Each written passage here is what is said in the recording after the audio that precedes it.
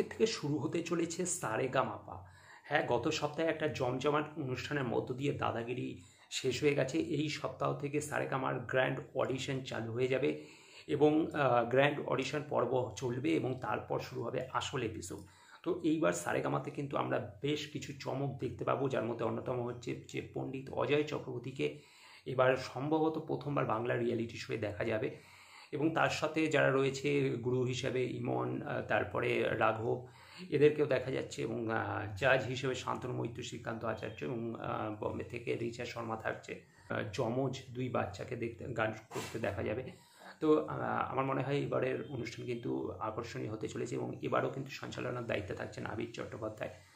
তো দেখা যাক কীরকম অনুষ্ঠানটা হয় এবং গানের অনুষ্ঠান বরাবরই বেশ ভালো টিআরপি থাকে।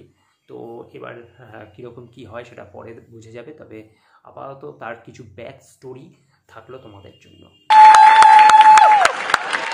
বিচারকের আসন এবার অলঙ্কৃত করবেন শান্তনু মৈত্র শ্রীকান্ত আচার্য রিচা শর্মা। আমাদের সঙ্গে থাকছে একটা মিউজিক্যাল প্যানেল যেখানে আমরা এই বাংলার বিখ্যাত গায়ক গায়িকাদের পাবো।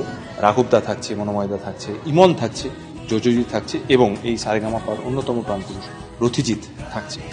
সব থেকে যেটা বড় কথা, এবার আমরা সারেগামাপায় আমরা ভীষণই গর্বিত, কারণ এবার সারেগামাপায় মহাগুরু হিসেবে আমরা পেতে চলেছি পণ্ডিত অজয় চক্রবর্তী।